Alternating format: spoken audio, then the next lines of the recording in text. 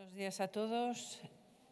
Iniciamos eh, la rueda de prensa del vigésimo quinto día de la declaración del estado de alarma. Eh, hoy nos acompaña Carlos Fernández Carriedo, consejero de Economía y Hacienda. Antes de nada, lo primero que quiero hacer es eh, bueno, transmitir nuestro pésame a todas las familias de los, de los fallecidos. Queremos transmitir eh, también el pésame a la familia de nuestro compañero Luis Fernando Mateos, coordinador del Centro de Salud de Linares, en Salamanca, que falleció ayer. Nuestras condolencias a compañeros, a familiares, amigos, a la gerencia de atención primaria y evidentemente también nuestro saludo y nuestro apoyo a todas esas personas que en estos días pues están en sus casas eh, y están haciendo lo que se tiene que hacer, que es la cuarentena social. Gracias a, a, eso vamos avanzando poco a poco, estamos consiguiendo estabilizar, pero también hay una enorme preocupación. No podemos relajarnos de ninguna de las maneras. El que empiece eh, a, a ser los días más luminosos o que tengamos más sol no quiere decir que podamos salir a la calle, no debemos salir a la calle. Es importante. Cuando vemos algunas imágenes en algunas ciudades en las que vemos que sigue habiendo mucha gente en la calle, eh, nos preocupa y nos preocupa mucho. Tenemos que hacer la cuarentena social, es fundamental, es la única manera que tenemos de momento para poder controlar esta, esta crisis y esta, y esta pandemia. Los casos confirmados en España son 146.690 casos, de los cuales 48.021 son altas y, 100, y, eh, y 14.555 son fallecidos. El número de casos en Castilla y León son 10.058 casos y de ellos 477 casos nuevos en las últimas 24 horas. He de decir que con toda probabilidad todos estos casos van a aumentar en estos días. ¿Por qué? Porque hemos, eh, estamos iniciando eh, los casos, eh, el análisis de casos en las residencias sociosanitarias y a medida que vayamos teniendo resultados se van incorporando. Esto hace que lugares como, por ejemplo, Segovia, que tienen 1.480 casos, tengan 131 casos nuevos y se explica por qué ya se han introducido los datos de algunas residencias que han sido analizadas. El cómputo general es, eh, como he dicho antes, 10.058 que, se, eh, que se reparte de la siguiente manera. Ávila, 793 casos con 27 nuevos, Burgos 1053 con 29, 29 nuevos, León 1398 con 54 nuevos, Palencia 524 con 14 nuevos, Salamanca 1915 con 108 nuevos, Segovia 1480 con 131 nuevos, Soria 849 con 12 nuevos, Valladolid 1686 con 84 nuevos y Zamora 360 con 18 nuevos. Como ustedes saben, nosotros estamos haciendo el registro a través de Medora y de la enfermedad de declaración obligatoria urgente, que es, el, que es la enfermedad por COVID, y ese registro nos da eh, que tenemos 37.308 casos.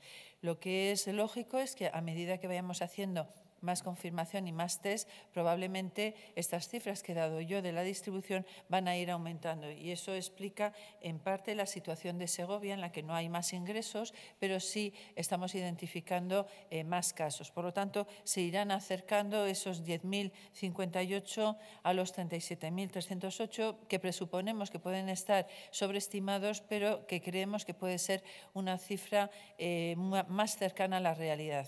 Eh, creemos que eh, prácticamente, como he dicho siempre, el 85-90% de los casos son casos eh, eh, son casos leves, es decir, que son casos que están en sus casas y son atendidos por atención primaria, y luego hay un porcentaje que les iré desgranando que se incorporan, que son ingresados en los hospitales.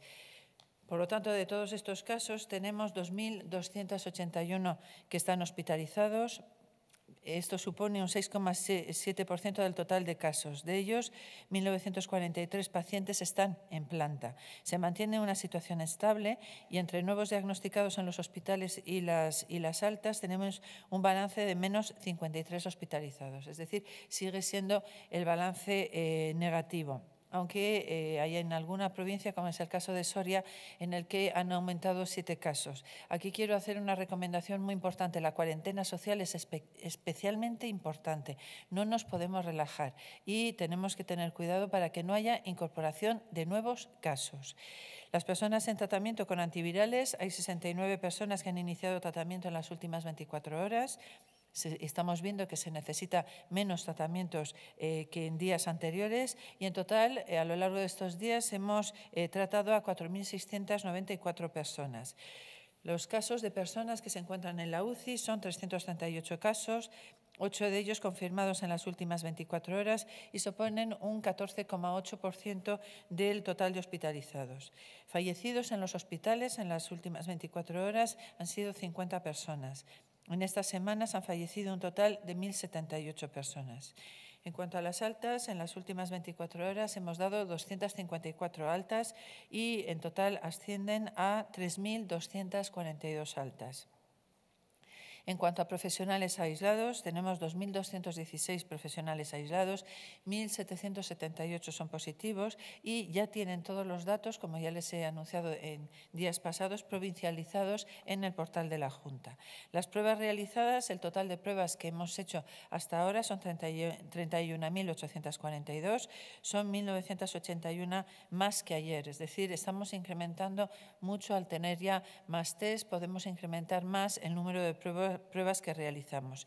Aquí, evidentemente, lo que yo quiero hacer es un reconocimiento a esos profesionales, porque hay profesionales que se, puede ver más, eh, los profesionales de atención primaria, de emergencias, los de los hospitales, pero hay un sector de profesionales que eh, son nuestros héroes silenciosos y son los profesionales de microbiología. Los microbiólogos y los técnicos de laboratorio les quiero mandar desde aquí un afectuoso saludo porque están haciendo un grandísimo trabajo a la hora de procesar todas estas muestras y dar todos estos resultados.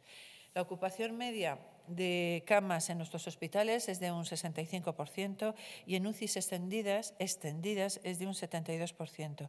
El balance entre ingresos y altas, como he dicho antes, es de un menos 53%, eh, de un menos 53 pacientes, cuatro menos que ayer en UCI respecto a ayer. Solo en, en, el Hospital de Burgos hubo un paciente más, en el Complejo Asistencial de Soria eh, siete más y en el Hospital Río Ortega 13 más con eh, balance positivo entre ingresos eh, y, altas. En el resto de hospitales los ingresos, eh, ese balance es negativo. Seguimos distribuyendo equipamiento a nuestros centros según las necesidades. Hasta el momento hemos distribuido 46 respiradores en toda la comunidad. la provincia que más respiradores ha recibido porque era la, más, la que más lo necesitaba por tener una UCI muy extendida ha sido Soria, que han recibido 14 respiradores. También se han distribuido 20 ecógrafos y varios de, ellos también a Segovia. Ayer tuvimos reunión con el grupo de expertos, estuvimos trabajando en diferentes protocolos y algoritmos que enviamos a todos los centros de salud en estos días y que colocaremos en la, en la aplicación que hemos puesto a disposición de los profesionales, de todos los profesionales, que es IRIA Medical.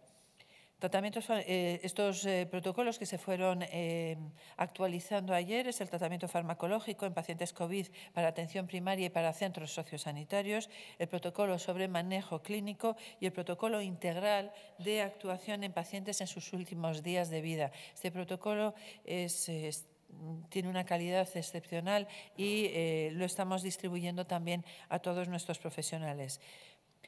Eh, recordamos a nuestros profesionales la existencia de la aplicación y que eh, contiene una información muy valiosa y una información sobre todo muy actualizada. Creo que actualizamos a tal velocidad que a lo mejor no les damos ni tiempo a leer, pero les recomendamos que las miren. Eh, estamos intentando facilitar esa información lo más posible, de manera que haya muchos, mucha información muy visual, que haya muchos algoritmos para poder tomar decisiones lo más rápidas posibles. Eh, se, siguen produciendo las llamadas al, 900 para solicitar que se hagan los test. Los test los estamos organizando. No hay test masivos eh, todavía, se están confundiendo algunos términos. Eh, cuando el Ministerio habla del test masivo, se está refiriendo sobre todo a esos test que se van a hacer para conocer la seroprevalencia de enfermedad COVID, que son 62.420 que van que van a ser personas a las que se les va a hacer este, este estudio para eh, también saber cuál es la prevalencia real que tenemos de penetración de esta de esta enfermedad.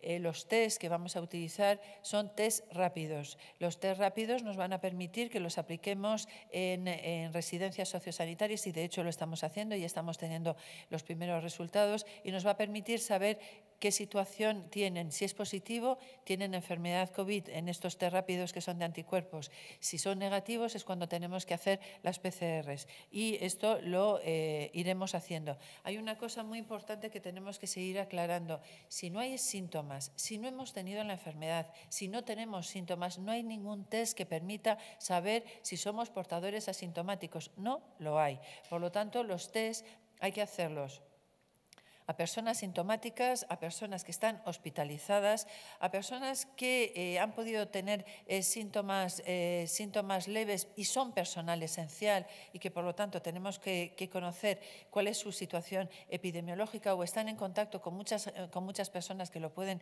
que lo pueden tener.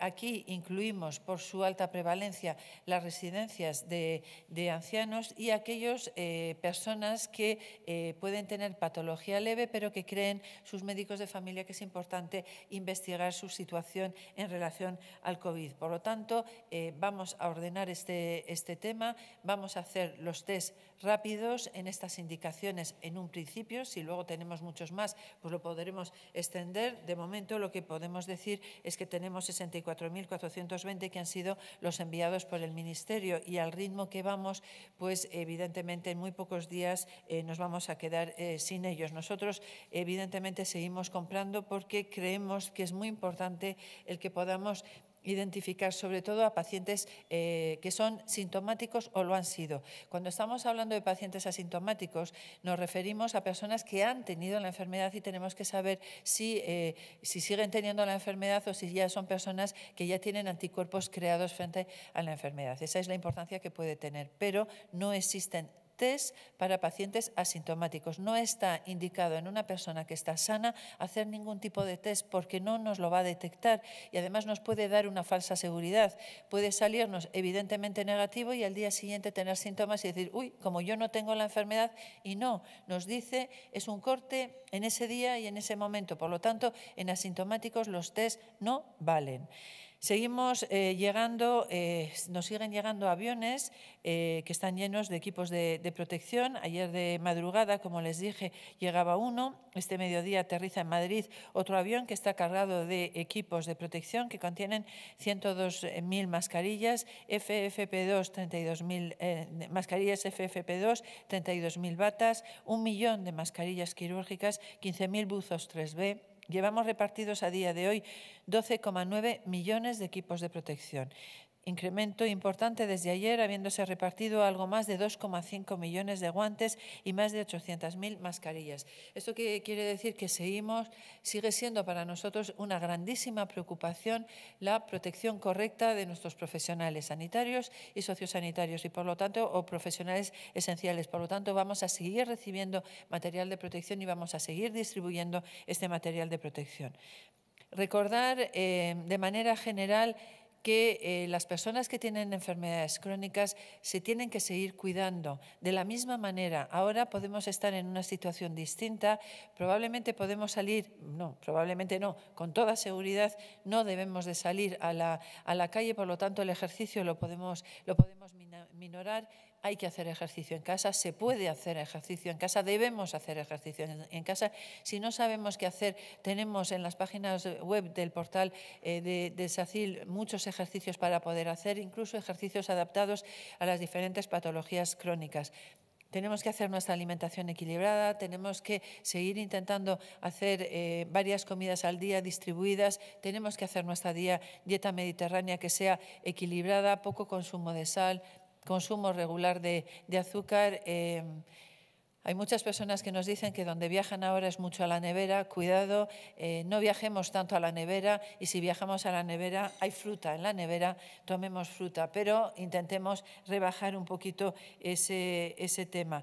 Eh, si tenemos algunos síntomas a las enfermedades, a las personas con enfermedades crónicas, el sistema sanitario sigue funcionando. Si tenemos problemas, contactemos por teléfono con nuestros médicos de familia, con nuestras enfermeras de atención primaria para eh, decirles lo que nos está pasando. No estemos eh, diciendo, va, esto se me pasa, va, qué miedo me da, eh, no quiero ir a, ningún hospital, no quiero ir a ningún centro de salud. Consultemos si algo nos pasa. Si tenemos algún síntoma nuevo o algo que nos preocupe por nuestra enfermedad crónica, es importante que lo consultemos, que no dejemos de hacerlo porque evidentemente la vida sigue, el COVID parece que lo invade todo, pero no lo tiene que invadir todo en el sistema sanitario y por lo tanto tenemos que tener esto claro. Recuerdo lo que he dicho antes, que tenemos en la página web toda la información, tanto para los voluntarios como para las personas eh, que quieran hacer donaciones, como para eh, las personas que quieran eh, tener toda la información actualizada y rigurosa que se tiene en relación con el COVID-19. Hemos detectado y nos preocupa mucho Ah, puede haber cierto grado de relajación en las medidas de prevención en, el aislamiento. Es importantísimo la prevención, es importante la prevención primaria, es decir, eh, la cuarentena social, y es importante la prevención secundaria, es decir, el aislamiento. Si tenemos síntomas, nos tenemos que aislar. Es la única manera que tenemos ahora mismo de eh, cortar esta, esta enfermedad. Por lo tanto, solicito prudencia y cautela. Solicito que, aunque veamos días soleados y brillantes como puede ser hoy, no hay permiso para salir a la calle, no nos debemos de conceder ese permiso porque seguimos necesitando la cuarentena social.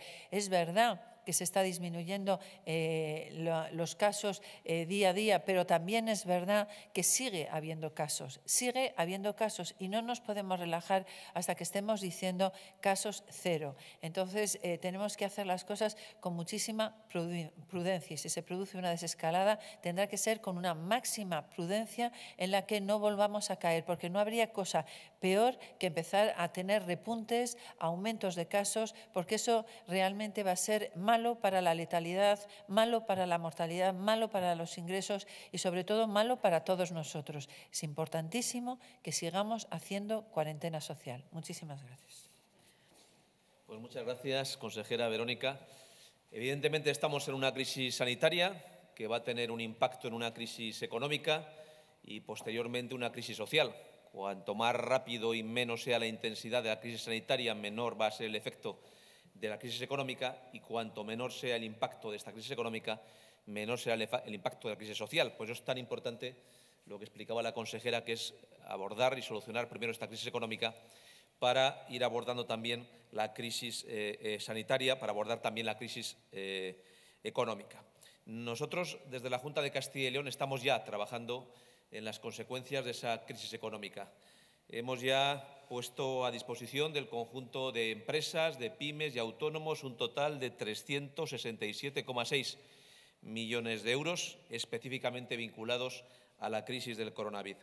Estamos hablando de 100 millones de euros para aportar liquidez a más de 3.000 empresas, de 42 millones de euros en aplazamiento de pagos de impuestos autonómicos para 38.000 contribuyentes, de 112 millones de euros en ayudas a la innovación, a la competitividad de las empresas de Castilla y León, de 93 millones de euros para las empresas del sector de la agroindustria y el forestal y de 20,5 millones de euros en medidas de apoyo desde el empleo para empresas y autónomos. Estas son las medidas que ya estamos ofreciendo al conjunto de la sociedad para rebajar el impacto de esta crisis económica que sin duda se deriva de la crisis sanitaria. 100,6 millones de euros para dotar de más liquidez a las empresas. Hemos recibido ya a día de hoy un buen número de solicitudes, 594 solicitudes por un importe de casi 38 millones de euros, de los cuales se han aprobado 403 solicitudes por un importe de casi 25 millones de euros. Por tanto, de los 100 millones de euros previstos inicialmente, 25 se han concedido ya, se han acordado ya y, por tanto, han sido comunicados a empresas y autónomos. Una primera línea de 20 millones de euros dirigidas a autónomos y a micropymes de menos de cinco trabajadores para créditos de hasta cuatro años, hasta tres años con un año de carencia y sin pago de tipos de interés por un importe que va entre los 6.000 y los 40.000 euros. Se han recibido ya 145 solicitudes por casi 5 millones de euros. Una segunda línea de 40 millones de euros para pymes, fundamentalmente afectadas eh, estas eh, pymes por sectores productivos más vinculados a la crisis del coronavirus, el sector eh, industrial, el sector de hostelería y turismo y el sector del comercio. A día de hoy se han recibido ya 205 solicitudes por un importe de casi 5 millones de euros. Un tercer eje, 25 millones de euros con cinco años de amortización y 12 meses de carencia para acordar actuaciones de digitalización y teletrabajo. Muchas empresas de nuestra comunidad se van a salvar precisamente por fortalecer sus líneas de teletrabajo. Esta es una línea que está funcionando muy bien porque hemos recibido ya 215 solicitudes y de los 25 millones inicialmente considerados se han ya presentado solicitudes por más de 20 millones de euros. Y finalmente una última línea de 15 millones de euros para la extensión de los créditos vinculados a la lanzadera financiera, 29 solicitudes presentadas por un importe de 8 millones de euros. Como les digo, a esta inyección de liquidez se unen los 42 millones de euros para 38.000 contribuyentes como consecuencia del aplazamiento en el pago de los impuestos autonómicos en Castilla y León, así como 12 millones de euros en actuaciones de mejora de competitividad e I de de los cuales 17 millones casi para competitividad e innovación, 60 millones para I D, 6 millones para tecnologías de la información y 30 millones para el crecimiento innovador frente a la crisis. 93 millones para empresas agroalimentarias y del sector forestal y 20 millones finalmente para fomentar el empleo, el autoempleo en nuestra comunidad autónoma, a lo que se unen actuaciones de refuerzo del sector empresarial, fundamentalmente nuestra presencia en el exterior, con 235.000 euros adicionales. En definitiva, son medidas que ya estamos poniendo en marcha, muy conscientes de que cuanto mejor sea el impacto de estas medidas, menor va a ser el efecto sobre la crisis social que se puede derivar de la crisis económica. Por tanto, 367 millones de euros que ya disponen nuestras empresas, muchos de ellos han sido ya solicitados en el momento presente y, sin lugar a dudas, en la medida en que pudiéramos ir agotando alguna de estas líneas de ayuda, las que tuvieran más éxito, podríamos ir fortaleciendo su intensidad, su capacidad de actuación.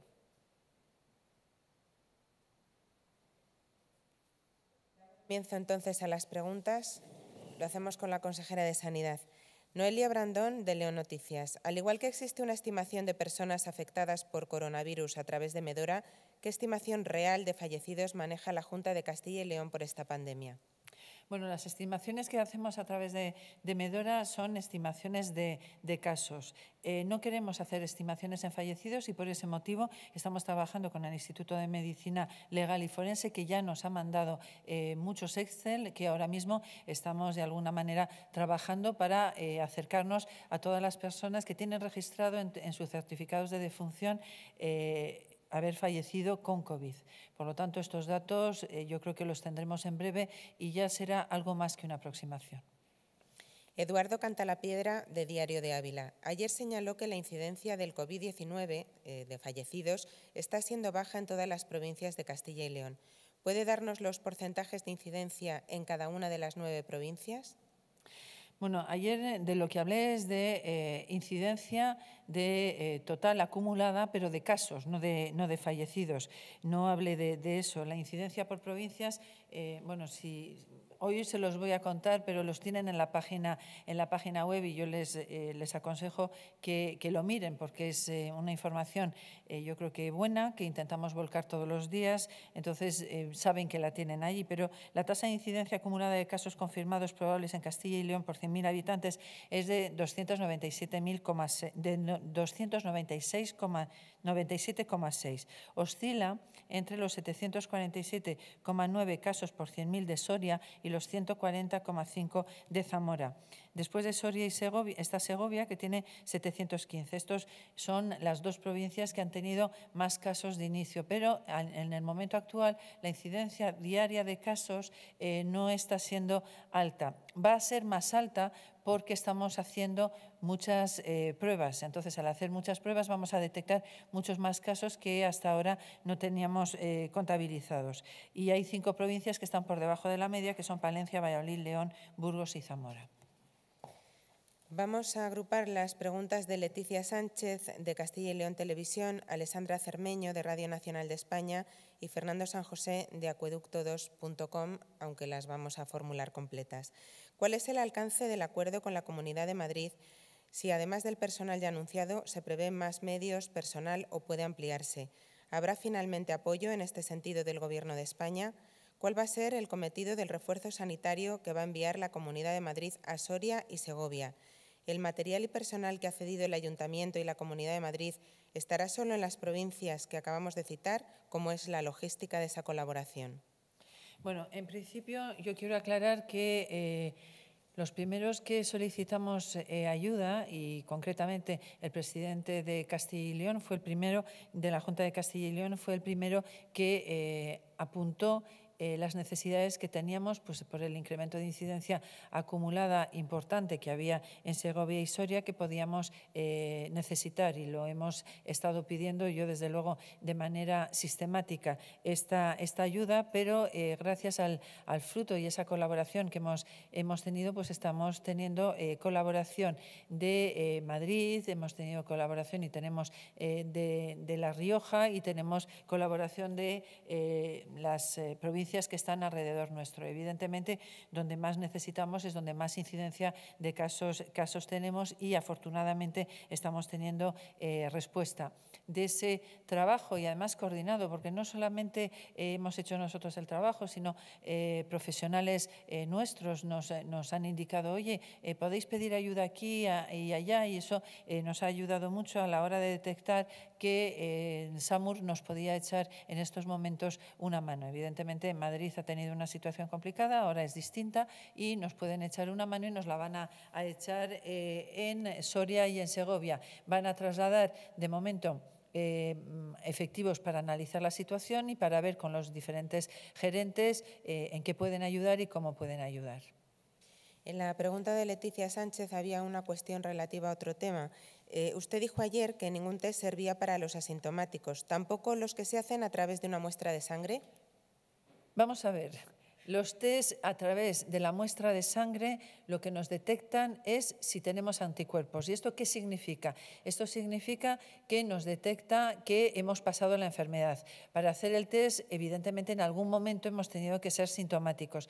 Donde los vamos a hacer de manera generalizada es en las residencias sociosanitarias, porque a veces es difícil saber si una persona mayor ha tenido o no síntomas y por eso se hace de manera, de manera generalizada y más si ha habido algún caso en esa, en esa residencia. A veces una persona con deterioro cognitivo, a veces es difícil saber si tiene, si tiene eh, síntomas o no y también sabemos que en las personas mayores la fiebre a veces no es, no es, de buen, no es un buen criterio. Por lo tanto, repito, los test en personas asintomáticas no sirven para nada y solamente en determinados sectores poblacionales es donde vamos a hacer test más, más generalizados por las características que he dicho yo. Pero de manera generalizada, población general, si no hemos, si no hemos estado enfermos ni estamos enfermos en este momento, decir ahora que mi test es negativo no significa nada. Y lo único que en el estudio poblacional que se va a hacer, se va a hacer un estudio de cero prevalencia para ver cuántas personas de Castilla y León y en España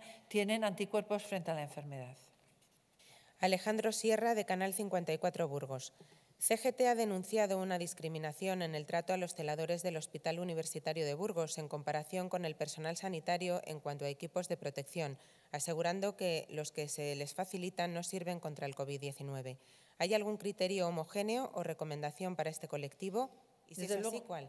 Desde luego los criterios y los protocolos, tanto del Ministerio como los nuestros propios, son criterios que no eh, va por categorías profesionales, va por exposición. Es decir, los criterios a la hora de eh, utilización de los equipos de protección es por exposición. Si ha habido algún caso de estos, tendremos que analizarlo y desde luego solventarlo.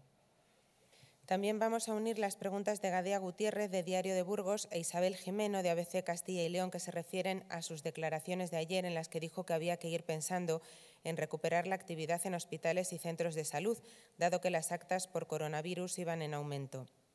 ¿Hay especialidades que puedan comenzar antes o aplazarse más su vuelta en función de los riesgos asociados a esos pacientes? Si es así, ¿cuáles? La edad, dado que es un factor que influye en la evolución del COVID-19, aunque no sea único, se tendrá en cuenta para llamar a esos pacientes. ¿Cuánto tienen que mejorar las cosas para volver a programar? Lo deseable es que no haya contagios, pero ¿cómo se va a convivir a corto plazo con el virus en centros de salud y hospitales?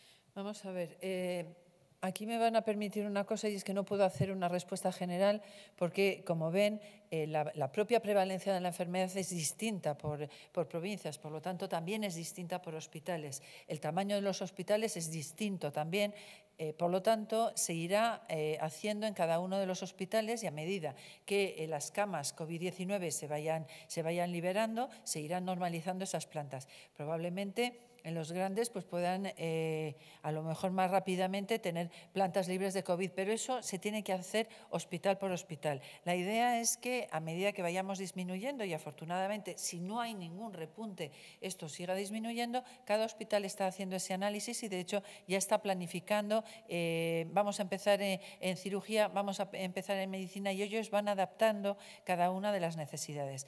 Pero vamos a tener que convivir durante tiempo con esta, con esta situación. Con los centros de salud, pues igual que son los primeros que detectaron casos, serán los últimos en los que llegue la normalización absoluta, pero probablemente se van normalizando. Mm, seguirá habiendo consulta telefónica un tiempo, seguiremos teniendo consultas para respiratorio otro tiempo, seguiremos haciendo eh, programadas con nuestros pacientes a domicilio. Es decir, que todo eso se irá normalizando poco a poco, pero no... Eh, igual que había un plan de contingencias por hospital y por áreas de salud, habrá un plan de normalización y hay pensado ya un plan de normalización a medida que se vayan dando las situaciones en cada uno de los hospitales. Aurelio Martín, el día de Segovia. El presidente de la Junta anunció que había pedido nuevamente recursos al Gobierno central. Al final llegarán del SAMUR.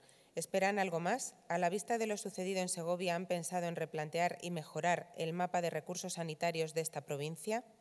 Bueno, yo creo que el análisis de la planificación sanitaria de esta comunidad es algo que nos planteábamos antes del COVID y probablemente después del COVID nos lo, tengamos, que seguir replanteando. Es decir, eh, yo creo que hay que planificar lo más correctamente nuestros recursos. Tenemos que pensar en tener construido un plan de contingencia para si esto vuelve a pasar. Esto ha sido eh, algo terrible algo terrible que nos tiene que permitir aprender de la situación y corregir algunas cosas que debamos de, corregir. Y esto eh, yo creo que con toda seguridad lo vamos a hacer, porque si no somos capaces en este momento de eh, aprender de esta situación tan terrible, pues evidentemente no lo estaremos haciendo bien. O sea, que tenemos que reconducir muchas, muchas cosas. En cuanto a que nos lleguen eh, recursos, bueno, pues los recursos los, los vamos pidiendo. Los recursos que nos están llegando ahora vienen eh, fundamentalmente bien para eh, aquellos hospitales que, tienen, que, que, aunque no han llegado a su zona de colapso, han tenido mucho sobreesfuerzo y este sobreesfuerzo se traduce en cansancio de profesionales. Si de alguna manera nos pueden ayudar para que nuestros profesionales puedan descansar un poco y nos puedan eh, hacer que eso mejore, pues nos viene bien. Por lo tanto, yo este tipo de ayudas no solamente no las rechazo, eh, no están ahora justificadas por decir, uy, nos hemos sobrepasado en los hospitales, no, pero sí nos viene bien porque estamos en un momento en el que tenemos que dar mucho apoyo a nuestros profesionales para que ellos puedan descansar un poco y este tipo de recursos nos viene magníficamente bien. Cristina Fuentes de Salamanca 24 horas. Ayer la Junta anunció que se harían más test rápidos a los profesionales sanitarios. ¿Cómo es el protocolo de sustitución de esos profesionales en caso de que den positivo? Bueno, pues es el mismo protocolo que tenemos hasta ahora. Persona profesional que se le detecta que es positivo, persona que se aísla y se tiene que valorar eh, eh, con qué, profesional le puede sustituir en la labor que estaba haciendo. Por eso, esos más de 2.000 y casi 3.000 profesionales que eh, hemos incorporado, pues en muchos de los casos, no en todos, pero en muchos de los casos nos pueden ayudar, pero el protocolo es el mismo es decir, aislamiento. Adrián Arias, de la agencia EFE. Ayer avanzó que la Junta colaboraría con el Instituto de Medicina Legal y Forense para identificar aquellos decesos asociados a COVID-19 que acontecen fuera de los hospitales, como en residencias y casas particulares, para que estos pasen a engrosar las listas diarias de fallecidos. La pregunta es, ¿qué va a pasar con los fallecidos hasta ahora con síntomas asociados al COVID-19 a los que no se les ha hecho ni la prueba ni la autopsia. ¿Van a pasar a contabilizarse en el cómputo total de muertes por el virus en la comunidad? Vamos a ver, no tener la prueba ni tener la autopsia no, puede, no, no descarta que una persona tenga en su certificado fallecimiento con sospecha de COVID. ¿Por qué?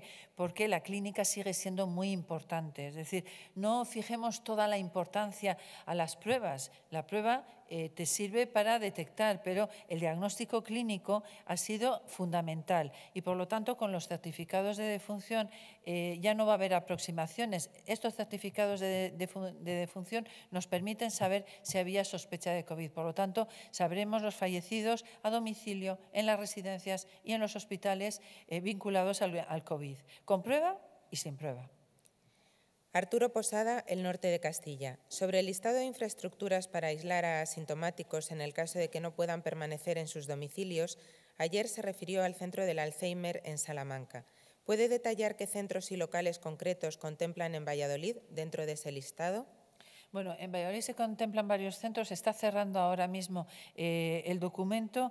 Eh, en principio, estos documentos, eh, estos, estos, estas residencias o estos dispositivos que queremos poner en marcha no están pensados para aislar solamente a, los pacientes asintomáticos, no. O sea, es aquel paciente que, siendo asintomático, mantiene una PCR positiva, no puede incorporarse a su residencia o a su domicilio porque puede haber más convivientes y ese domicilio no está preparado para el aislamiento, ese es un motivo por el que eh, pueden estar en estos, en estos em, alternativas, en estos recursos intermedios. Para las personas eh, que son sintomáticas y no necesitan hospital y no pueden permanecer en sus domicilios, también estos recursos intermedios están pensados. Pero no están pensados para el asintomático em, por sí solo, es decir, entre otras cosas porque no vamos a saber si es porque no va a tener la prueba hecha. Son para aquellas personas que han estado enfermas,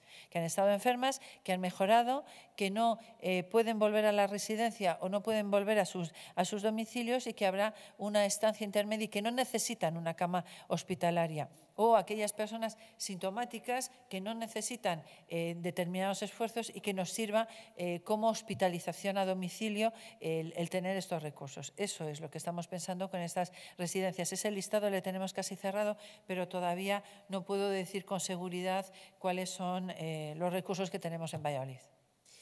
Álvaro Hernández, Cadena Ser. Usted mantenía hace días que la situación en Soria era dura, pero no de alarma. ¿Qué ha cambiado para necesitar ahora la ayuda de Madrid y necesitar además 366 nuevas contrataciones. De ellas, sí, perdón, de ellas 169 en Soria y 197 en Segovia, en concreto. Pues lo único que cambia es lo que acabo de decir, el cansancio profesional. Eh, nos sigue viniendo bien que tengamos ayudas, eh, que vengan más profesionales a ayudar, porque evidentemente eh, hay muchos profesionales que son insustituibles y que mm, lo vamos a tener muy difícil para, pero les podemos apoyar, les podemos ayudar, podemos hacer traslados de pacientes, podemos contar con nuevos recursos para intentar permitir que descansen. Pero hay muchas zonas en las que se está haciendo el 250% y esto no es una cifra aleatoria, es que es real.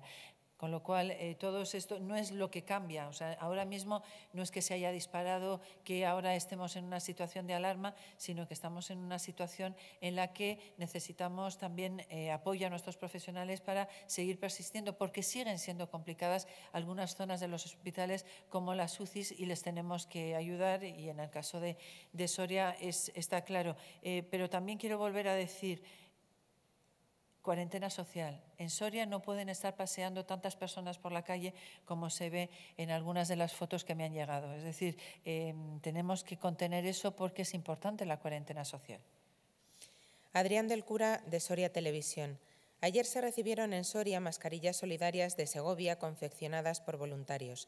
En Soria se llevan confeccionando desde hace más de dos semanas y se ofrecieron para ayudar a la Junta, pero se rechazó. ¿Cómo explica esta situación? ¿Qué diferencian unas mascarillas de otras? Vamos a ver, eh, no, yo creo que la diferencia fundamental es que ahora estamos recibiendo muchísimo material, este material es material homologado, no quiero decir con esto que este otro material no sea bueno, pero ahora ya tenemos un material que es homologado, estamos eh, recibiendo mucho.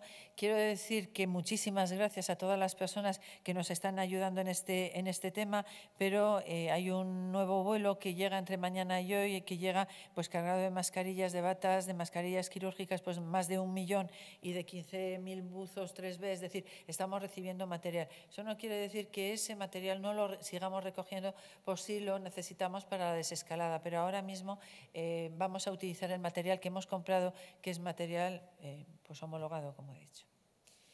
Visitación Andrés de la agencia ICAL. En relación a los contratos realizados a médicos, ¿cuántos de ellos estarían en el marco del Plan de Fidelización para Internos Residentes, MIR, anunciado por el presidente de la Junta, y cuántos son prórroga de los ya residentes? Y, por otro lado, si se descuentan los profesionales aislados, ¿pueden cubrir con esos contratos las bajas o se quedan cortos? Bueno, estamos intentando que eh, se cubran todas las necesidades que tenemos eh, con todos los profesionales y con todos los eh, recursos que hemos tenido, tanto de voluntarios como de personas contratadas. Vamos a ver, ninguno, voy a explicar este, este tema. Ninguno de los contratos son contratos de fidelización. Lo que nosotros vamos a hacer aquí en Castilla y León es lo que hemos explicado muchas veces. A los residentes de últimos años lo que les vamos a proponer es eh, hacer rápidamente sus evaluaciones para que tengan la opción a su título lo antes posible, pero desde que están siendo eh, empleados o utilizados como adjuntos, se les va a pagar como adjuntos, es decir, va a haber una compensación como adjuntos. Nada más que ellos acaben, eh, les, vamos, les contrataremos y les contrataremos. No va a haber prórrogas de residencia. No queremos que haya prórrogas de residencia, queremos contratarles como especialistas en el momento que ellos acaben. Y en ese momento es cuando empiezan los contratos de fidelización. Y, evidentemente eh, queremos que nuestros profesionales se queden a trabajar con nosotros porque les vamos a necesitar. Vamos a unir también las preguntas de Eugenio de Ávila, del Día de Zamora, y de Sonia Díaz, de Europa Press. Se critica que el Gobierno no esté facilitando las muertes reales de personas con coronavirus. ¿Es eso posible? Ante la situación de la contabilización de fallecidos solo confirmados, ¿cree que la consejera que el número de víctimas mortales real podría duplicar a los contabilizados? Este caso, perdón, nada, era solamente que si este caso se daría en Castilla y León y si existe una orden del Gobierno de no contar a los fallecidos con síntomas si no se les ha hecho el test del COVID. No, vamos a ver, eh, nadie está ocultando nada, ni Gobierno ni comunidades autónomas. A todos nos preocupa tener los mejores sistemas de registro. Lo que es verdad es que eh, la manera de contar y los criterios que se, que se han utilizado son los criterios que se homogenizaron para toda España y para Europa y son criterios eh, eh, que fueron absolutamente bueno, pues transparentes y claros, pero que contabilizaban solamente los casos confirmados. ¿Qué nos hemos encontrado? Pues que no había pruebas suficientes para poder confirmar todos los casos. Por lo tanto, sabemos que ha habido eh, más fallecidos eh, con sospecha de COVID, pero queremos aproximar. Una solicitud que yo hice en el Consejo Interterritorial es que teníamos que homogenizar todos nuestros sistemas de información, que todos teníamos que intentar contabilizar tanto los números de, casos con las mejores pruebas posibles y, eh, evidentemente, también los, los fallecidos. Y por eso nosotros hemos recurrido al Instituto de Medicina Legal y Forense y que les damos las gracias porque han sido muy rápidos en trasladarnos la información. Laura Cornejo, el diario.es. La Cámara de Soria canalizó los currículos de 136 profesionales sanitarios dispuestos a trabajar. Sin embargo, ustedes los han pedido a Madrid. ¿Están priorizando la ayuda gratuita mientras en Soria los médicos hacen lo que pueden con escasos medios humanos? No, vamos a ver. Eh, no estamos priorizando para nada la ayuda gratuita. Todas las ayudas nos cuestan dinero, incluidas las de los voluntarios. Eh, quiero decir que esto no es así. Eh, lo que nosotros eh, hacemos es cuando nos llegan todos los currículums, tanto los de los voluntarios, que nos lleguen de la Cámara de Comercio, que nos lleguen a través de voluntarios COVID-19, la página web, todos esos, todos esos son trasladados a las gerencias y las gerencias analizan lo que necesitan en ese momento y a lo mejor en ese momento no se está llamando a determinada gente porque el currículum no es precisamente el que más se necesita para ese caso concreto. Por lo tanto, nosotros recibimos la ayuda. La ayuda que ahora nos llega de Madrid es una ayuda especializada, experta en emergencias sanitarias, que nos viene bien para eh, Soria y para Segovia. Pero todos los currículums son analizados, no descartamos ninguno, ni priorizamos, ni desde luego valoramos eh, esto, como era, de la ayuda gratuita. En la línea de lo que preguntaba antes el norte de Castilla, Sergio García de Soria Noticias pregunta cuál es el espacio señalado en Soria como recurso intermedio para acoger posibles asintomáticos. Si la situación en Soria es contenida y hay camas en la UCI, ¿por qué se derivan pacientes a otras comunidades autónomas? ¿Se está mapeando cómo fue la posible expansión en cada provincia o se hará más adelante? Vamos a ver. Eh, lo primero, en cuanto al espacio señalado en Soria, es, lo que he dicho antes, que, estamos cerrando los recursos intermedios y yo ahora mismo ni siquiera he visto el documento, con lo cual no, puedo hablarles de, ese tema. Nada más que lo tengamos, hablaremos de, los recursos intermedios. Eh, la situación de Soria está contenida, pero está contenida con un 250% de extensión en su UCI, es decir, que tienen una UCI muy expandida.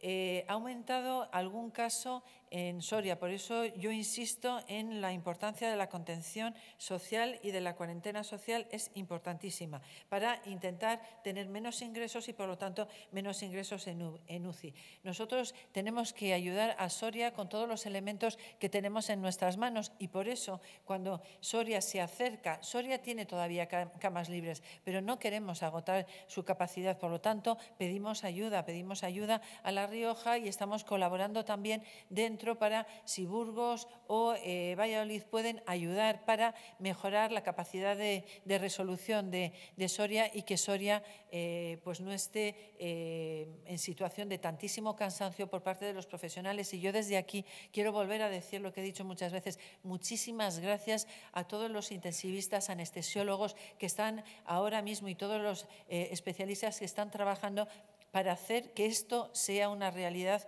en Soria. Lo están haciendo francamente bien. Estamos muy, muy orgullosos del trabajo que están haciendo. Pero eso no quiere decir que nosotros busquemos ayuda para apoyarlos, porque lo hicimos antes de la declaración de alarma y lo seguimos haciendo en el momento actual. Javier Hernández, de la Gaceta de Salamanca. A los que están... al mapeo sobre la posible expansión. Entonces, eh, bueno, lo del mapeo eh, lo estamos haciendo, está en, la, está en la página web. Vamos a tener también más, más mapeo cuando tengamos el, el estudio de seroprevalencia. Sí, Javier Hernández, de la Gaceta de Salamanca. A los que están registrados por Medora y nunca le hicieron la PCR, ¿les van a hacer el test de anticuerpos? ¿Cómo se confina a los asintomáticos si los test no son útiles?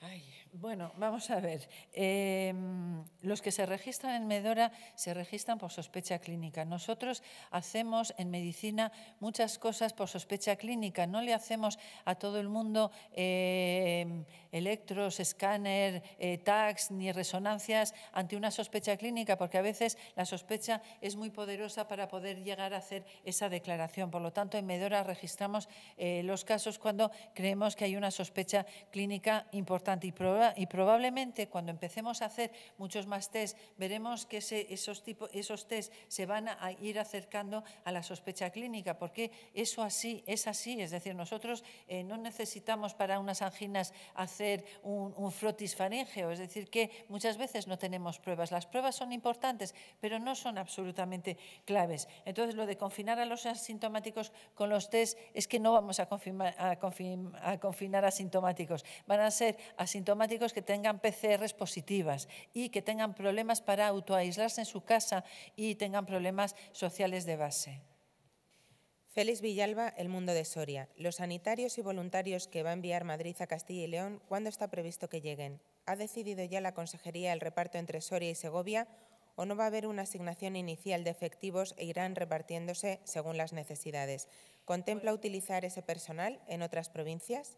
Eh, vamos a ver, ahora mismo, hoy por la mañana, estaban eh, efectivos de, ese, de esos eh, colectivos analizando la situación en el terreno y analizándolo con la gerencia de los hospitales. Entonces, sí que sabemos que pueden ser hasta 40 profesionales, 20 que son médicos, enfermeras, técnicos y voluntarios y el reparto se hará según las necesidades y emplearlos en otras, en otras eh, provincias, pues a lo, mejor, a lo mejor sí, pero son un recurso magnífico y desde luego lo agradecemos enormemente, pero ahora mismo se está viendo cómo se va a repartir y finalmente cómo se va a hacer. Ricardo García Ureta, El Mundo de Burgos. La Comunidad Canaria plantea dentro del plan de desescalado poder suavizar el confinamiento antes que el resto del país por su aislamiento y número de casos.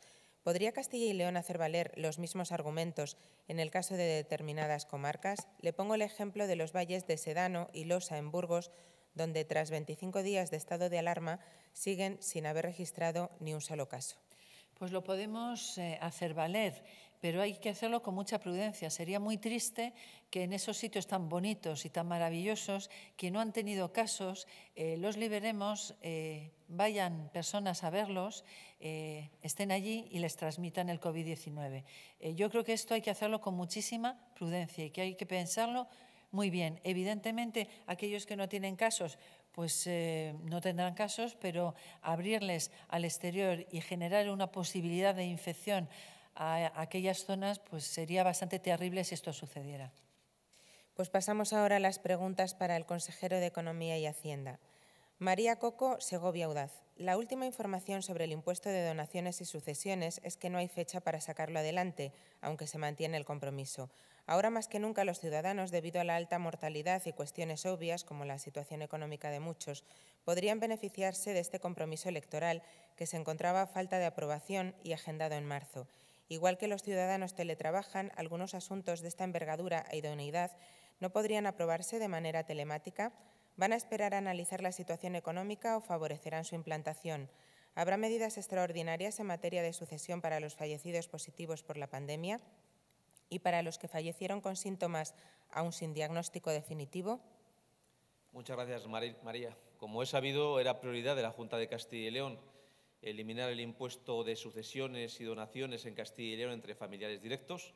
Habíamos presentado el proyecto de ley, había pasado el trámite de enmienda de totalidad había finalizado el trabajo de la comisión parlamentaria correspondiente y estaba a punto de aprobarse en el Pleno de las Cortes de Castilla y León. Nuestra idea es eliminar este impuesto. Lógicamente, ahora tenemos otra prioridad.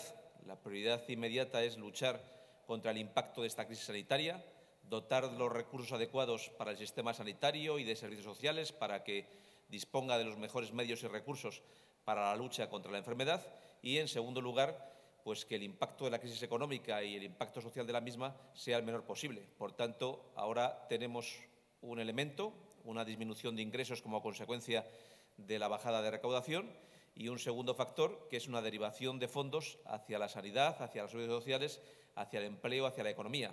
Lógicamente, en el momento en que podamos eliminar este impuesto lo haremos, nuestro compromiso es hacerlo y lo vamos a cumplir, pero lógicamente en un contexto donde lo tenemos que hacer compatible contra la lucha contra el coronavirus. María Jesús Muñiz, Diario de León. ¿Cuál es el plazo por el que las empresas están pidiendo el despido temporal o reducción de jornada de sus trabajadores en los ERTE? ¿Hasta cuándo cree que estas situaciones condicionarán la vuelta a la normalidad de la actividad económica? Pues el plazo es durante la duración del estado de alarma.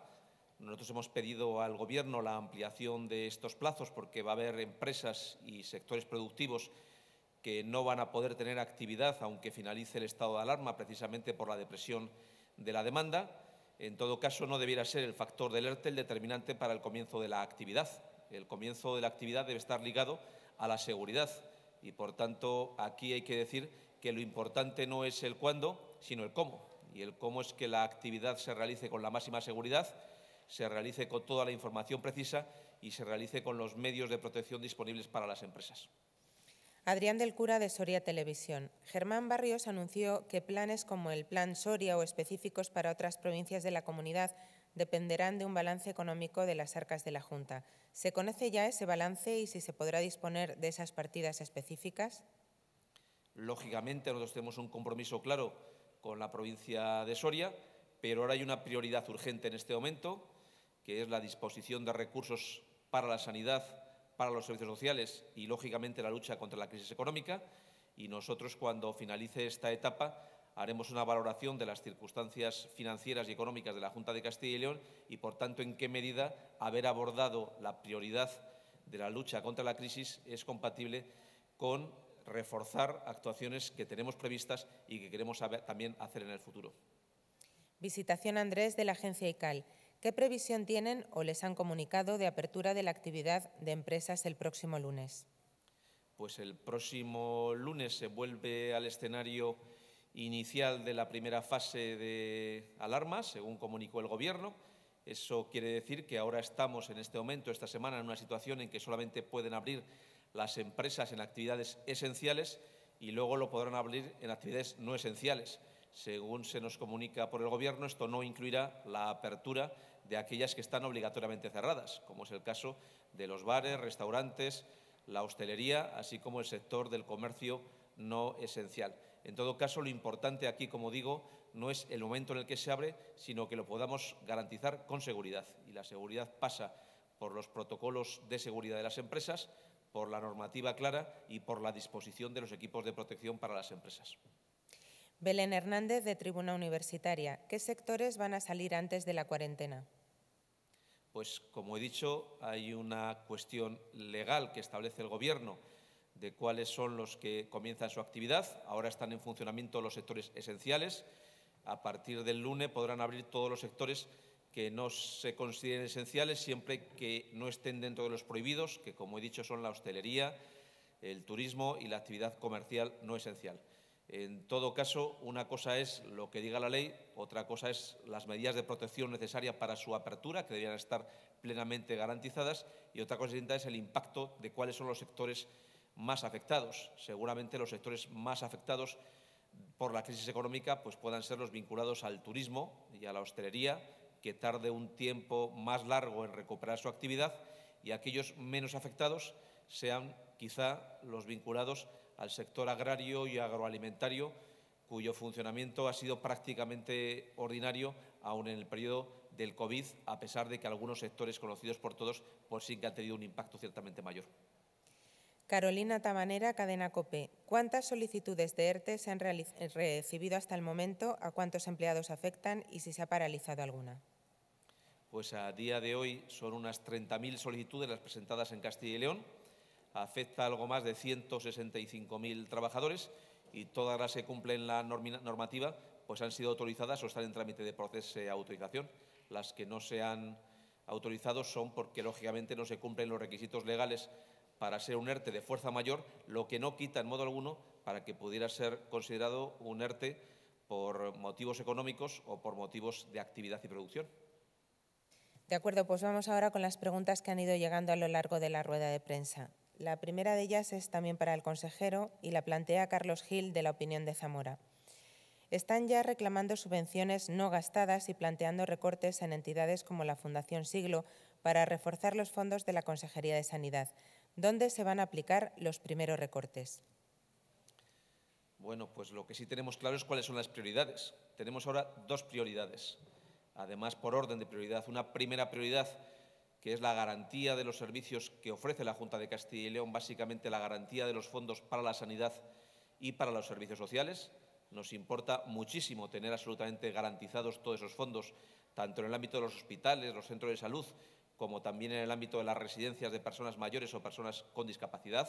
Hay un impacto muy relevante, como saben ustedes, en la adquisición de material y suministro, tanto fuera de Castilla y León como en la producción propia que se está generalizando en Castilla y León, pero también hay un impacto en algunas inversiones sanitarias o en la dotación de nuevos eh, contratos para personal en el ámbito sanitario o de servicios sociales. Y hay una segunda prioridad, que es el vinculado al empleo, a las pymes y a los autónomos. Y, por tanto, todo lo que tenga que ver con el empleo, la actividad económica, incluyo aquí la actividad agraria y la industria agroalimentaria, también es nuestra segunda prioridad y, por tanto, somos muy conscientes de que van a bajar los ingresos de la Administración autonómica como consecuencia de la menor recaudación. Vamos a otorgar la máxima prioridad a estos dos factores y, lógicamente, el resto de los temas, que algunos de ellos son muy importantes, pues van a tener una prioridad secundaria respecto de los que he señalado inicialmente. Adrián del Cura, de Soria Televisión. Para la consejera, cuando se tengan test suficientes y una vez cubiertas las necesidades de sanitario, residencias, etcétera, se podrán realizar a personas que una semana antes de iniciarse el estado de alarma acudieron a los centros de salud u hospitales con síntomas que ahora son compatibles, pero que entonces se indicaban como síntomas de una gripe. ¿Serán necesarios esos test en estos casos para poder solicitar el carnet COVID del que habló ayer? Por supuesto, sí. Pablo Lago, El Mundo de Castilla y León. ¿Van a hacer algo ante el abandono de correos a los transportistas del medio rural, a los que les obligan a ir a por mascarillas a las ciudades pese a estar abiertas y activas las oficinas de los pueblos? Bueno, el consejero de Fomento me traslada que eh, ha trasladado eh, esta preocupación, la preocupación que nosotros tenemos con este tema, al delegado del Gobierno. También aclarar que se han repartido 20.000 mascarillas para los transportistas. Arturo Posada, del norte de Castilla, plantea si ha barajado la Junta algún recinto para morgue en el caso en que las funerarias se colapsaran. Si es así, ¿puede especificar cuáles? Bueno, no podemos especificar cuáles. Eh, este tema se, ha barajado y se ha pensado, pero desde luego no estamos en esa situación y no creemos, no creemos que vayamos a tener ese colapso. Felipe Ramos, del Mundo de Valladolid, pregunta, ante la máxima preocupación de la salida desescalada que se tiene desde la Junta, ¿saben ya cuáles son los planes de esa salida desescalada o nos vamos a ver sometidos al caos del desembarco masivo de miles de personas desde el próximo lunes? Bueno, yo lo único que sé es que me solicitaron un nombre, se dio ayer eh, y que yo sepa todavía no se han reunido, pero es algo que también nos preocupa a nosotros enormemente porque sería muy dramático un repunte si no hacemos bien las cosas. Cristina Domínguez de Sagún Digital. Se están publicando muchas informaciones estos días acerca de grupos de voluntarios que, en cooperación, cosen en sus domicilios batas, gorros y sobre todo mascarillas. Este material ¿qué nivel de protección ofrece? Pues en principio lo he señalado antes, hay que tener mucho cuidado porque em, ya tenemos material homologado, el material homologado es el que llega, eh, nos preocupa eh, con qué tejido se pueda estar haciendo porque ya la Organización Mundial de la Salud nos ha dicho que las mascarillas de algodón pueden ser foco de infección, con lo cual hay que tener mucho cuidado. Hay que intentar que los materiales eh, que se utilicen sean los materiales que están homologados y evidentemente yo ahora mismo teniendo en cuenta que estamos en una situación en la que nos están llegando materiales homologados, yo eso lo haría con mucha tranquilidad y cuidado con las mascarillas eh, caseras y los materiales que utilizamos. Eh. Bea García de Televisión Benavente. Hay numerosas quejas tanto de familiares como de trabajadores de la residencia de los Valles de Benavente. La cifra de aislados y fallecidos con síntomas compatibles está aumentando.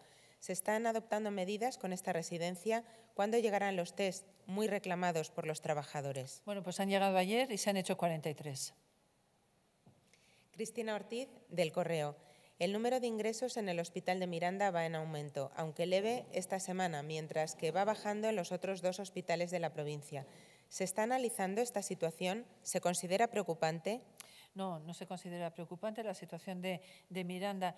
Vamos a ver, yo quiero aclarar que, sigue habiendo casos. Es decir, cuando decimos que hay una desaceleración, no estamos diciendo que no haya casos. Estamos diciendo que hay menos casos que el día anterior, pero no estamos diciendo que no haya casos. Por lo tanto, estamos diciendo que aunque vamos más despacito, eh, tanto en ingresos como en fallecidos, pero seguimos teniendo casos. Seguir teniendo casos sigue siendo muy importante la cuarentena social. Por lo tanto, en Miranda, que lleva más contenida y que sigue contenida, seguimos diciendo lo mismo, cuarentena social, cuarentena social, cuarentena social, no levantemos la mano porque podemos encontrarnos con un problema, pero no, tranquilos que, que sigue contenido.